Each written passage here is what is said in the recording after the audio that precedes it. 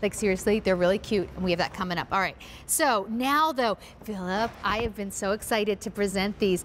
They are spectacular. All of are these beautiful not? real flowers. So this is the Cleomes. You're going to get six of them. It's the Sparkler collection. Yeah. They're wild. So they really are. They're like magic what wands. Is, so first of all, you're going to get six big, nice, ready-to-go plants. Just to show you, you're going to yes. get six of these. Phillip, I'm not familiar with this plant. What is it? It's well, amazing. It's also called a spider flower. It's a very oh. old-fashioned annual. Okay. But the nice the nice thing about this one is it's a self-seeding annual, and what they will do is that they will drop the seeds um, in your garden at the end of the season, and I love it because you've got got the little seeds that drop out, mm-hmm. and uh, then they come back every year. I planted them in my garden six years ago. I still have them, and they're not invasive at all. And mine are all mixed colors. You're getting in this collection two blush, two lavender, and two rose. And then once they seed, you'll get every kind of color in between. Oh, that's so cool. I love even like, I don't even want to call them stems. They're like stalks covered with leaves. This is the coolest looking flower. It, it really is. And also when the wind comes, uh -huh. they move back and oh, forth. They so they're do. gorgeous. These are great with ornamental grasses. If you like that, if you've got your Asiatic lilies, they, they will bloom first and then these cleomes start. By the way, these bloom all summer long. Oh, and okay plant. See what you're looking at there. See the big display there? Yeah. That's one plant. And so I'm getting well, well three of the. I'm getting I'm getting six of these. So if you take getting, a look, you're getting six. So I'm getting double what we see out here on this set. Plant them three feet apart wow. because they will wow. absolutely fill up the area. They're just gorgeous to have in the garden. And you can have so other cool. things in there. If you've got daylilies, these are great to plant with your daylilies. Oh, I bet they are. a color that you don't see. And gorgeous against, as you see the white fences, just a great, great, handsome look.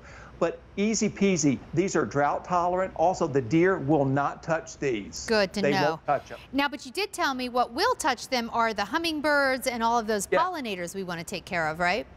Indeed, and that's what I love, the, all the pollinators, the hummingbirds, uh, the butterflies, um, the bees, and you'll see all manner of things coming to this. But I love the fact that they were low maintenance and they will also grow in very poor soil. The only place they'll not be happy is in a boggy area. But once they get established, they will take the drought plant them in hot baking sun. That's where they're the happiest. And these will carry on in every part of the country. And then those seeds come back, back down and then they come back next year. I want to show you the plants you are getting. You're going to get six yeah. of these plants.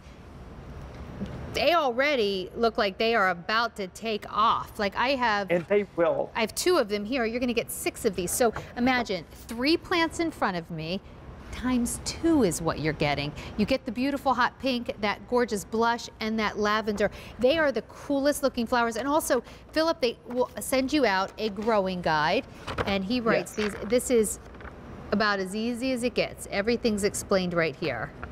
Yes, and the telephone number is there and also the website. So when your packages arrive, as soon as you open the boxes and inspect your plants, be sure to not throw the growing guide away. Mm -hmm. Save that because that'll be your little Bible. Yeah, I always just keep mine in like a manila envelope in my garage, all my growing guides right there. And um, it's nice to be able to go back and be able to look at them. But Phillip, these get nice and tall, and I'm looking through here, and I'm not sure what all you can see on camera, but as I look through here, next to every flower is a flower about to happen. And that's what they call they call those the axillary buds because the top but the top bloom blooms first, then it sends out branches across the sides and it gets wider and wider. Just a really great, great look. I've got mine all around my ornamental grasses so cool. in the back and Hazel and I planted a monkey puzzle tree. So I planted these all underneath the monkey puzzle tree, and they just look so beautiful there, and I can see them from a distance. That's way back on the back property. But these are up and they're moving around in the wind, and it's like, come on out and play. Can you come out and play today? I like the idea of getting a, like six flowers like this. I mean, you could totally, if like, they almost provide a little measure of like low, like privacy, right? Like put them in the back against a fence if you don't like the look of a chain link fence or yes. something. Like they're really cool and you're getting this times two, this is only three. You're getting six of these. Six of Yes, these indeed. for three easy payments of $10.37. They're $5 and change a piece. That is wild. And they'll, they're annuals, but they'll self-seed. So, Phillip, you say they're going to come back every year for me, right? Um, absolutely. They, they come back from seed, and you will want them forever. Because I'm just telling you, my grandmother had them, and I'm not going to be without my grandmother. So. Nice. Okay.